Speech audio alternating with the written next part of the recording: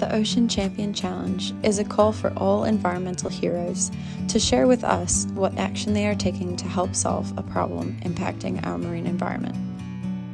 We want to recognise New Zealand's ocean heroes and celebrate the work of many passionate ocean advocates, sharing their stories to inspire others. Kia ora, ko Miller Pakuingua. Myself and Tom Fitzgerald are members of the New Zealand Coastal Society Executive Committee. And on behalf of all of us at NZCS, we would like to say thank you to everyone that submitted a video entry for the Ocean Champion Challenge over Sea Week 2022.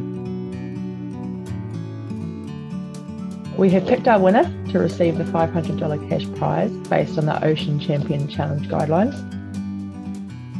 And the winner is Nicole Miller. Congratulations from all of us at NZCS. We are excited to award you for your excellent work which we felt aligned well with the NZCS vision of sustainability, education, and community engagement regarding our coastline and moana.